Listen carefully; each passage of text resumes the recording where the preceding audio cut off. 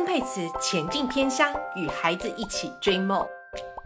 轻轻唱着歌，弹着吉他，艺人曾沛慈前一夜才结束出道首场的大型演唱会，隔天一大早就搭车前往南投行李乡龙华国小做公益。龙华国小全校仅有二十四位小朋友，是个距离台中高铁站约两个小时车程的偏乡小学，环境偏僻，身处山中，每逢天灾都受到严重影响。历经风灾与地震，好不容易重建，又因莫拉克台风一系摧毁。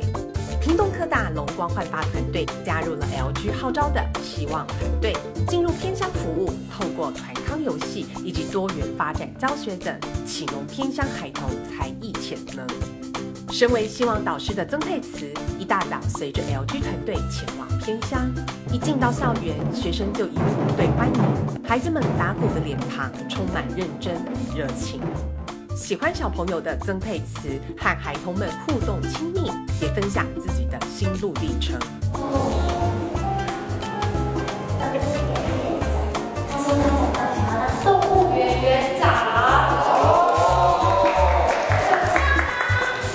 曾沛慈也为孩童献唱自己创作的歌曲《小鹿乱撞》，和小朋友一起折纸飞机，许下对未来的目标和希望。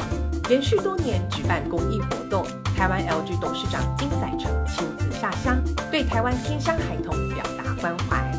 啊，透过这个计划，我我觉得这个小孩子们都可以能啊拥抱。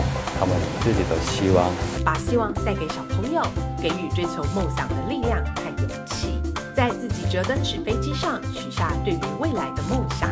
孩子们带着微笑，一起发射载着梦想的纸飞机，让希望起飞。